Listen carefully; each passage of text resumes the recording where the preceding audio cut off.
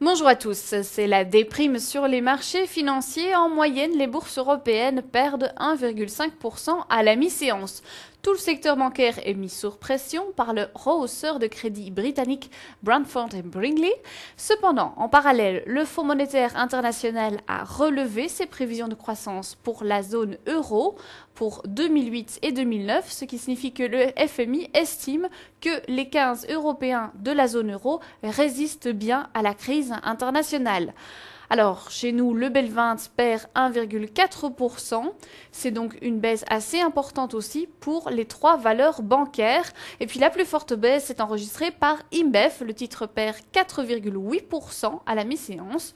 Le groupe brassicole américain Anheuser-Busch prend les choses en main en fait pour se protéger contre un rachat du belgo-brésilien IMBEF.